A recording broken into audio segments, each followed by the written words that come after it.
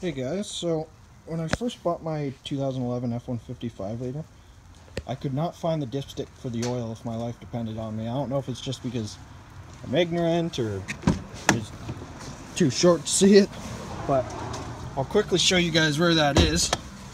It took me a while to find it. It's Ford put it in the most inconvenient spot, unfortunately. So, if you can see back there, it's all the way at the back of the motor, right there. So I'm 5'4", and obviously I can't reach it. I'm gonna need a stool, and even at that point, it's gonna be pretty hard. So, just for your reference, maybe if you're 6'2", you can possibly reach it, but I can't do it without scratching the paint with my belt buckle or any of that.